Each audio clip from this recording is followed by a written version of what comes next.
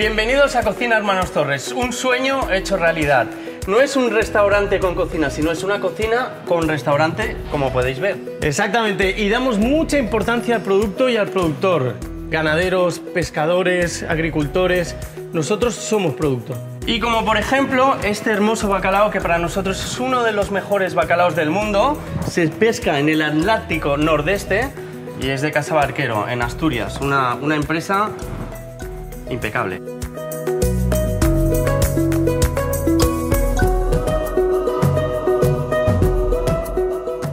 Bueno, pero ¿qué quiere decir bacalao de autor? Para los que no lo sepan, desde el punto de vista de- del cocinero es un producto único en el mercado. Se pescan uno a uno con anzuelo y luego se, se conservan de esta manera en atmósfera protegida que garantiza la calidad, el sabor y la textura. Sergio, podríamos decir que este bacalao es de pincho. Exactamente, bueno, porque se pescan uno a uno y luego se ponen unas piscinas especiales que tienen dentro del barco, con lo cual el bacalao lo que no tiene es, primero, ni estrés y luego también importante es que no se golpea con las redes, con, con lo cual sale homogéneo, uniforme, bueno, ya lo ves, mira qué calidad de bacalao, Fijaros, increíble. espectacular.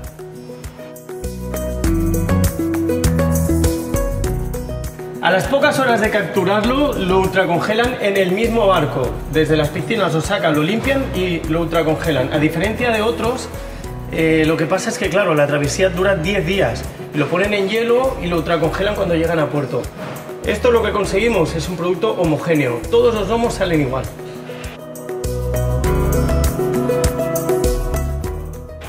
Y aquí es donde empiezan el procesado en la planta de Asturias. Ya veréis que el tiempo de curación y el punto de sal son muy, muy importantes. Bueno, Sergio, yo diría determinantes, porque una vez llega a planta de procesados, se viscera, se limpia y se pone en salmuera durante dos días. Se saca y se pone durante un tiempo en sal seca, una mezcla que hace Casa Barquero especial.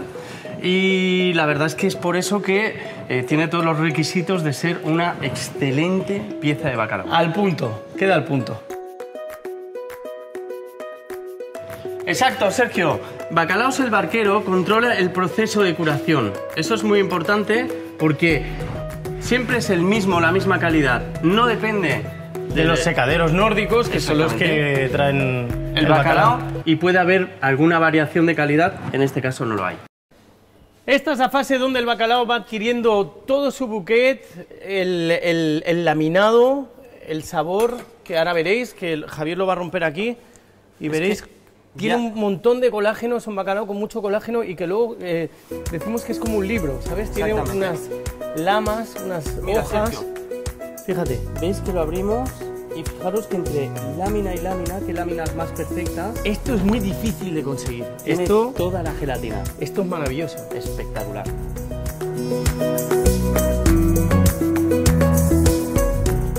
Un espectáculo, pero no podemos olvidar el proceso de salado después de la curación. Es una técnica que tiene eh, Bacalaos el Barquero, que es única en el mercado. Hace que toda la pieza quede igual, a punto de sal. Exacto, como bien dice Sergio, es muy importante los que nos dedicamos a la cocina profesional el punto de sal del bacalao y es algo muy difícil de encontrar que siempre sea regular, siempre sea igual. Y el barquero lo tiene.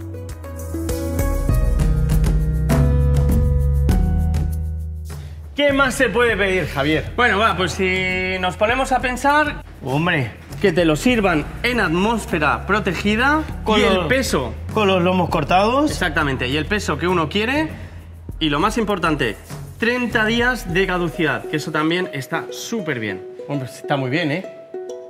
Pero en casa, Javier, yo me llevaré un trozo a casa. ¿Tú cómo lo harías? Buah, muy fácil. Yo menos es más. Lo haría crudo con un poquito de aceite de oliva, buen aceite de oliva y sal. Lo podría hacer confitado, lo podría hacer a la plancha, rebozado y frito. Tiene que estar buenísimo. Es que tiene un sinfín de posibilidades. Bueno, sí, no está mal, ¿eh? Yo lo voy a hacer de otra manera. Yo lo voy a hacer, voy a hacer un pil pil, pero con toque Torres. Y lo vais a ver. Bueno, también está bien.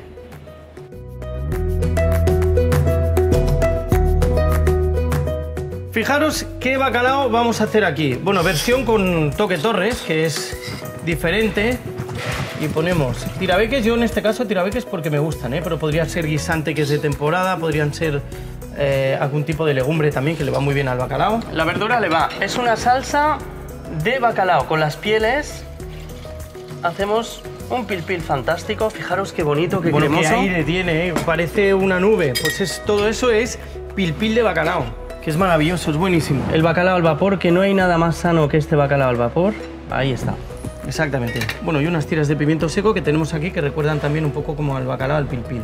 Un poquito de aceite de oliva y fíjate qué fácil y qué bueno esta versión de bacalao al pilpil.